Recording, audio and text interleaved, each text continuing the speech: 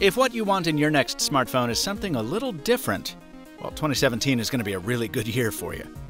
On the flagship side, this year LG is leading the principal charge for an Android alternative to Samsung, but it's discarded last year's compromises and gimmicks for a return to the fundamentals, a renewed focus on quality, and a camera I'm dearly going to miss when I have to move on.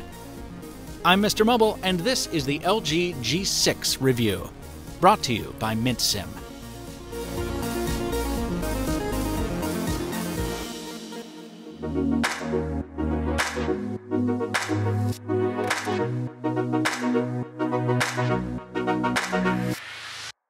The G6 has the best hand feel of any LG phone I've used. The chromed out plastic and strange paint jobs of previous models have been replaced by glass and aluminum construction that gleams like metal in the Platinum version and gives the black trim a liquid allure that's gorgeous, as long as you keep a chamois handy. Harkening back to 2012's Optimus G, the G6 feels heavier than it actually is, and LG's refusal to taper the edges makes it seem thicker, too. This is a welcome change of pace. The result is a phone that's easy to hold and reassuringly tank like, and backing up that hand feel is IP68 dust and water resistance as well as protection against temperature extremes and mechanical shock. None of this is to say that you should go around smacking your phone into parking lot puddles, and the Gorilla Glass 5 backplate does indeed get scratched in such situations, but it should handle abuse better than its immediate predecessor. Of course, if you want a real beast, there's the all metal V20, but the G series is made to appeal to a broader audience and the G6 does a great job of feeling both accessible and exceptional. That also applies to the screen. It's 5.7 inches, but, well, so is this one. I'll give you one guess as to which is easier to use one handed. The 2 to 1 aspect ratio means you can symmetrically stack two apps at a time, or watch fancy new shows in the hip 18 by 9 format. At press time, Netflix and Google Play Movies each allow true full screen scaling on the G6, but YouTube does not. So you're still going to get letterboxing or pillarboxing with some videos. For me, the more exciting bit is the ergonomic win. Because of the stretched screen, the phone can display more while staying easy to use. And LG has a couple nice software tricks to make that one handed use even easier. The screen is HDR ready, and when it's not being used, you have the option of a persistent clock or signature, and notifications will show up here too. That said, if you use that ambient display, the backlight will be working at least a little bit all the time. That might account for some of the middling battery life I've seen from my G6. I can usually make it through the day, but sometimes it's a stretch, unless I periodically top it up. Oh, hey, look, wireless charging is back! Hooray! The early software I'm using could be responsible for some of that power drain, too. This is Android 7.0. When the G6 comes to the US, it'll offer 7.1 and no doubt some polishing of the LG UI. But even in its current state, it's less obtrusive and more responsive than any LG skin that's come before. I installed Nova Launcher after a week just to spiff up the look and feel, and the G6 runs it well, despite a spec sheet some are calling disappointing.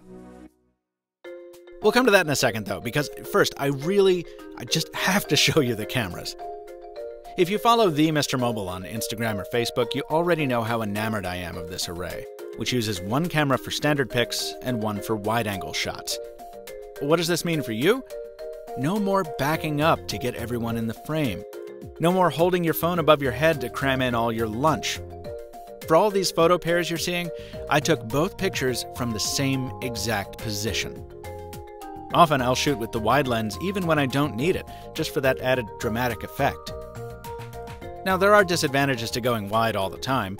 As with most of these lenses, you get a pronounced fisheye effect that distorts the edges. Also, there's no optical stabilization on the wide side as there is with the standard lens, and the aperture is smaller as well, which means it's not as good for night shots. And the front facing camera gets so grainy in dim settings as to be pretty distracting. But low light is still a challenge for most smartphones. Anyone remember my first nighttime walkabout with the Pixel? And really, it's all a balancing act, isn't it? The question is Does the G6 camera bring enough capability to forgive its shortcomings? And the answer for me is an unqualified yes.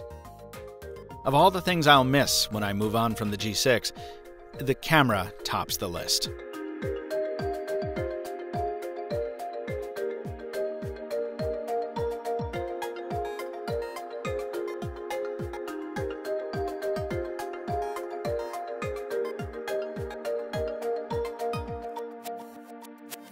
For all that the G6 gets right, it doesn't check all the boxes for some power users. For them, a 2016 processor in a 2017 flagship is anathema, while two generation old Gorilla Glass on the front and a lackluster single edge speaker scream cost cutting. Adding insult to injury, this is the first G series flagship since 2013 with a non removable battery. And while phone calls are handled with LG's usual aplomb, Audiophiles will be unhappy to learn that the premium DAC shipping in overseas models won't come to US shores. Whether these shortcomings are worth dwelling on will depend on your priorities. And, of course, what the US pricing turns out to be. No word on that yet from LG. But even if that price scrapes the stratosphere, the G6 has a lot going for it. During my two weeks with it, I never thought, boy, I wish I had a Snapdragon 835 because the 821 is more than capable of handling anything I can imagine wanting to run on my phone for the next year. I also never said I wish this camera was better, because it does stuff no other smartphone camera can do. About the only thing that gives me pause is the software situation. LG is not so great at keeping up with Android updates, but then again, you can say the same of many manufacturers. So for me, the G6 hits a lot more than it misses. I'm comfortable recommending it to anyone looking for a compelling alternative to Samsung on the high end, or a smartphone camera unlike any other. If you enjoyed this video, do me a favor, check out this week's sponsor. MintSim is the new way to get high-speed LTE in the United States.